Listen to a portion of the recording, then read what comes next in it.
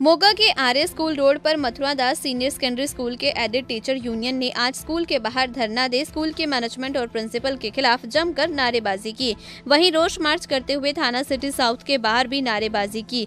दरअसल मामला स्कूल के क्लास फोर कर्मचारी संजय कुमार, जो पिछले पंद्रह साल से ज़्यादा समय से इस स्कूल में चौकीदारी कर रहा था, लेकिन स्कूल मैनेजमेंट और प्रिंसिपल द्वारा उससे 24 घंटे ड्यूटी करने को कहते और ज़बरदस्ती हस्ताक्षर करवाकर उससे धक्का मुक्की करते और उसको थप्पड़ मारकर स्कूल से बाहर भी निकाल दिया गया और सस्पेंड कर दिया जिसके बाद स्कूल के सभी अध्यापकों और स्टाफ ने इसके खिलाफ धरना और रोष प्रदर्शन किया वहीं इस मामले में पुलिस द्वारा स्कूल के प्रिंसिपल के अलावा मैनेजमेंट के सदस्यों सहित पाँच लोगों पर 323 के तहत कार्रवाई की है ਸ਼੍ਰੀ ਸੰਜੇ ਕੁਮਾਰ ਚੌਥਾ ਦਰਜਾ ਕਰਮਚਾਰੀ ਉਸ ਨੂੰ 20 20 9 18 ਨੂੰ ਪਹਿਲੋਂ ਪ੍ਰਿੰਸੀਪਲ ਨੇ ਗਾਲਾਂ ਕੱਢੀਆਂ ਉਸ ਨੇ ਪ੍ਰਬੰਧਕ ਕਮੇਟੀ ਤੇ ਯੂਨੀਅਨ ਨੂੰ ਲਿਖ ਕੇ ਦਿੱਤਾ ਇਸ ਸਬੰਧ ਦੇ ਵਿੱਚ ਜਿਹੜੀ ਪ੍ਰਬੰਧਕ ਕਮੇਟੀ ਸੀ, ਉਹ 8 ਤਰੀਕ ਨੂੰ ਸਕੂਲ ਦੇ ਦਫ਼ਤਰ ਵਿੱਚ ਆਈ ਤੇ ਸੰਜੇ ਕੁਮਾਰ ਨੂੰ ਬੁਲਾਇਆ ਤੇ ਉਸ ਨੇ ਆਪਣੀ ਵਿਥਿਆ ਦੱਸੀ ਵੀ ਮੈਨੂੰ ਪ੍ਰਿੰਸੀਪਲ ਸਾਹਿਬ ਨੇ ਇਸ ਤਰ੍ਹਾਂ ਗਾਲਾਂ ਕੱਢੀਆਂ।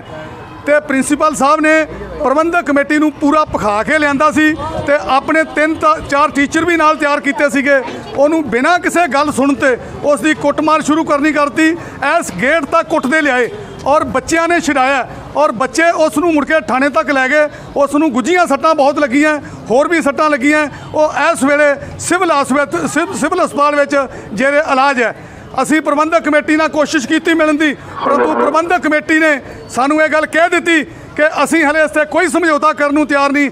ਇਸ ਕਰਕੇ ਏਡਡ ਸਕੂਲ ਟੀਚਰ ਯੂਨੀਅਨ ਜ਼ਿਲ੍ਹਾ ਮੋਗਾ ਔਰ ਬਾਕੀ ਭਰਾਤਰੀ ਜਥੇਬੰਦੀਆਂ ਨੇ ਫੈਸਲਾ ਕੀਤਾ ਕਿ ਜਿਹੜਾ ਉਸ ਵਿਅਕਤੀ ਨੂੰ 9 ਤਰੀਕ ਨੂੰ ਇਹਨਾਂ ਦੁਬਾਰਾ ਸਸਪੈਂਡ ਵੀ ਕਰ ਦਿੱਤਾ ਹੈ ਇਹ ਸਾਰੇ ਅਨਿਆਏ ਦੇ ਖਿਲਾਫ ਇੱਕ ਵੱਡਾ ਅੰਦੋਲਨ ਕਰਨ ਦਾ ਪ੍ਰਣ ਕੀਤਾ ਔਰ ਅੱਜ ਪਹਿਲੇ ਦਿਨ ਅਸੀਂ ਟੋਕਨ ਵਜੋਂ ਇੱਥੇ ਇੱਕ ਮੁਜ਼ਾਹਰਾ ਕਰਕੇ ਇਸ ਮੁਜ਼ਾਹਰੇ ਨੂੰ ਪ੍ਰਬੰਧਕ ਕਮੇਟੀ ਦੇ ਉਪ ਪ੍ਰਧਾਨ ਕ੍ਰਿਸ਼ਨ ਕੁਮਾਰ ਦੇ ਘਰ ਦੇ ਸਾਹਮਣੇ ਜਾ ਕੇ ਉਹਦਾ ਸਿਆਪਾ ਕੀਤਾ ਜਾਏਗਾ ਤੇ ਅਗਲੇ ਐਕਸ਼ਨ ਦਾ ਉੱਥੇ ਐਲਾਨ ਕੀਤਾ ਜਾਏਗਾ। ਕਾਰਨ ਕੀ ਹੋਇਆ ਜੀ? ਕਿਉਂ ਉਹਨੂੰ ਸਸਪੈਂਡ ਕੀਤਾ ਗਿਆ? ਕਿਉਂ ਉਹਨੂੰ ਕੁੱਟਿਆ ਗਿਆ? ਬਿਨਾਂ ਕਿਸੇ ਕਾਰਨ ਤੋਂ ਉਹਦੇ ਕੋਲ 24 ਘੰਟੇ ਡਿਊਟੀ ਮੰਗਦੇ ਸੀ।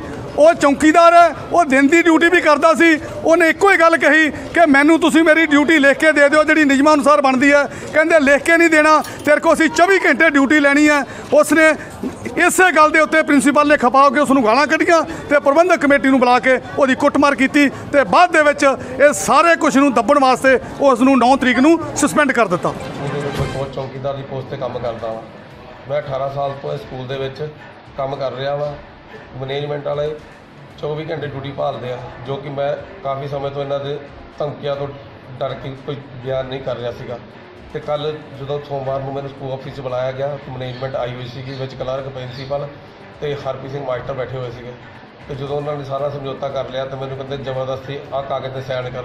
ਸਾ- ਸਾਨੂੰ ਪਤਾ ਲੱਗਿਆ ਵਾ ਕਿ ਤੂੰ ਡਿਊਟੀ ਸਹੀ ਢੰਗ ਨਾਲ ਨਹੀਂ ਨਿਭਾ ਰਿਹਾ। ਮੈਂ ਉਹਨਾਂ ਨੂੰ ਪੁੱਛਿਆ ਕਿ ਡਿਊਟੀ ਦੱਸਿਆ ਜਾਵੇ ਕਿਸ ਤਰ੍ਹਾਂ ਨਿਭਾਈ ਨਿਭਾਈਣੀ ਹੈ। ਤੇ ਉਹ ਮੈਨੂੰ ਉਲਟੇ ਸ਼ਬਦਾਂ ਨਾਲ ਗਲਤ ਸ਼ਬਦਾਂ ਦੇ ਵਿੱਚ ਯੂਜ਼ ਕਰ ਲਿਆ। ਤੇ ਜਦੋਂ ਉਹਨਾਂ ਦੇ ਮੈਂ ਸਾਹਮਣੇ ਪਹੁੰਚਿਆ, ਤੇ ਇੱਕਦਮ ਹੀ ਜੂ- ਵਰੁਣ ਕਲਰਕ ਉੱਠ ਕੇ ਕਹਿੰਦਾ, ਤੇਰੀ ਜੂਨੀਅਰ ਨੇ ਕੀ ਕਰ ਲਿਆ? ਕਹਿੰਦਾ, ਬ- ਪਤਾ ਬੈਠਾ ਤੇਰਾ ਪ੍ਰਧਾਨ, ਇਹਨੇ ਵੀ ਕੀ ਕਰਨਾ ਸੀਗਾ? ਤੇ ਤੂੰ ਕਹਿੰਦਾ ਜੀ ਮੇਰੀ ਯੂਨੀਅਨ ਆਊਗੀ। ਕਹਿੰਦਾ, ਚੂੜੀਆਂ ਦੀ ਯੂਨੀਅਨ ਆ ਗਈ ਤੇਰੀ, ਕੁਛ ਨਹੀਂ ਹੋਣਾ, ਤੂੰ ਜੋ ਮਰਜ਼ੀ ਕਰ ਲਾ। ਤੇ ਇਹਨਾਂ ਨੂੰ ਉੱਠ ਕੇ ਜਦੋਂ ਉਹਦੇ ਵੱਲ ਚੱਲਦਾ ਤੇ ਇਹਨਾਂ ਨੂੰ ਉਹਨੇ ਗੋਪਾਲ ਕਿਸ਼ਨ ਨੇ ਕਿਹਾ ਕਿ ਇਹਨੂੰ ਪ੍ਰਿੰਸੀਪਲ ਸਾਹਿਬ ਨੂੰ ਬਾਹਰ ਕੱਢੋ। ਤੇ ਜਦੋਂ ਉੱਠ ਕੇ ਬਾਹਰ ਨੂੰ ਨਿਕਲਣ ਲੱਗੇ ਤੇ ਇਹਨਾਂ ਨੂੰ ਜਗਦੀਸ਼ਪੁਰੀ ਨੇ ਮੇਰੇ ਉੜਦੇ ਸਾਈ ਥੱਪੜ ਮਾਰਿਆ ਕੰਨ ਤੇ ਤੇ ਮੇਰਾ ਕੰਨ ਸੁੰਨ ਹੋ ਗਿਆ। ਤੇ ਮੈਂ ਇੱਕਦਮ ਕੰਨ ਨੂੰ ਨੀਵੇਂ ਕਰਨ ਲੱਗਾ ਤੇ ਜਿੰਦਰ ਕੋਲ ਮੇਰੇ ਵਾਲੇ ਪਾਸੇ ਨੂੰ ਵਧਿਆ। ਤੇ ਇਹਨਾਂ ਨੇ ਫੜ ਕੇ ਇੱਕਦਮ ਹੀ ਮੇਰੇ ਨਾਲ ਤਿੰਨਾਂ ਜਣਾਂ ਨੇ ਹਰਪ੍ਰੀਤ ਸਿੰਘ ਨੇ ਮਾਰ ਕੁੱਟ ਦਾ ਕੰਮ ਸ਼ੁਰੂ ਕਰਤਾ ਤੇ ਮੈਂ ਬਾਹਰ ਭੱਜਣ ਲੱਗਾ। ਤੇ ਇਹਨਾਂ ਨੇ ਪਤਾ ਨਹੀਂ ਕੀ ਮੇਰੇ ਪਹਿਲਾਂ ਧੌਣ ਚ ਮਾਰਿਆ ਤੇ ਫਿਰ ਮੇਰੇ ਗਿੱਟੇ ਗੋਡੇ ਤੇ ਮਾਰਿਆ।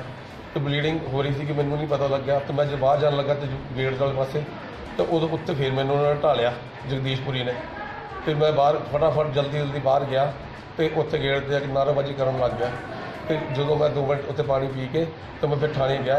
ਥਾਣੇ ਸਾਹਿਬ ਨੂੰ ਐਸਐਸ ਸਾਹਿਬ ਨੂੰ ਆਪਣੀ ਅਰਜੀ ਦਰਖਾਸਤ ਦੇ ਕੇ ਆਇਆ ਕਿ ਮੇਰੇ ਨਾਲ ਜੀ ਗਲਤ ਸ਼ਬਦਾਂ ਦਾ ਵਿਯੋਗ ਹੈ ਮੇਰੇ ਨਾਲ ਇਨਸਾਫ ਕੀਤਾ ਜਾਵੇ ਕਿ ਮੈਨੂੰ ਕੁੱਟਦੇ ਪਏ ਆ, ਧਮਕੀਆਂ ਮਾਰ ਮਾਰ ਇਸ ਤਰ੍ਹਾਂ ਸੀ ਉੱਥੋਂ ਦੇ ਜਿਹੜਾ ਚੌਂਕੀਦਾਰ ਹੈ ਸੰਜੇ ਨਾਮ ਦਾ ਜੋ ਚੌਂਕੀਦਾਰ ਹੈ ਉਹਦੀ ਮੈਨੇਜਮੈਂਟ ਨਾਲ ਕੋਈ ਡਿਸਪਿਊਟ ਹੋ ਗਿਆ ਸਕੂਲ ਵਿੱਚ?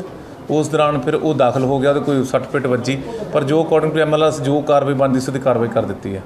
ਕਿੰਨੀ ਸੱਟ ਵੱਜੀ ਜੀ ਉਹਦੇ? ਸੱਟਾਂ ਇਸ ਤਰ੍ਹਾਂ ਸੀ ਜੋ ਆਪਸ ਵਿੱਚ ਹੱਥੋਂ ਜੱਫੀ ਹੋਏ ਨੇ। ਹਾਂਜੀ ਕੋਈ ਜ਼ਿਆਦਾ ਡੂੰਗੀ ਸੱਟ ਨਹੀਂ ਹੈਗੀ। ਤੇ ਕੀ ਕਾਰਵਾਈ ਕੀਤੀ ਨੂੰ ਅਸੀਂ ਉਹਦੀ ਹਾਲ ਦੀ ਘੜੀ 323 ਦੀ ਰਫਟ ਦਰਜ ਕੀਤੀ ਹੈ। ਕਿੰਨੇ ਬੰਦੇ ਖਿਲਾਫ? ਇਹ ਹੈਗੇ ਜੀ ਕਰੀਬ ਪੰਜ ਪੰਜ ਕੁ ਬੰਦਿਆਂ ਦੇ ਖਿਲਾਫ ਹੈਗੀ ਪੰਜ ਛੇ ਬੰਦੇ। ਇਹ ਸਕੂਲ ਦੇ ਜੇ ਮੈਨੇਜਿੰਗ ਕਮੇਟੀ ਵਾਲੇ ਨੇ ਜੀ ਬਸ ਜੋ ਜਿਹੜੇ ਜਿਹੜੇ ਉਹਨਾਂ ਨੇ ਨਾਂ ਲਿਖੇ ਉਸੇ ਦਾਇਰੇ ਨਾਲ ਰਿਲੇਟਡ ਨੇ।